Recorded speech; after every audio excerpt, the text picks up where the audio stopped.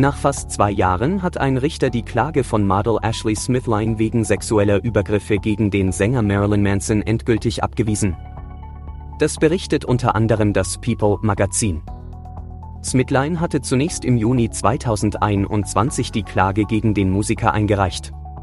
Doch nun soll ein Richter in Los Angeles die Klage abgewiesen haben, so das Magazin. Der angebliche Grund, die Klägerin hat sich nach dem Abtreten ihres Anwalts weder dafür entschieden, sich selbst zu vertreten, noch einen neuen Rechtsbeistand beauftragt. Eine vom Gericht gesetzte Frist verpasste sie offenbar.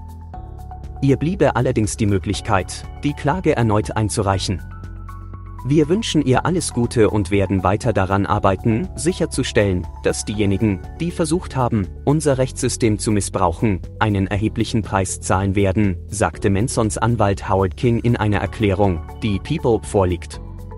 Smithline hat sich dem Magazin zufolge bislang nicht dazu geäußert.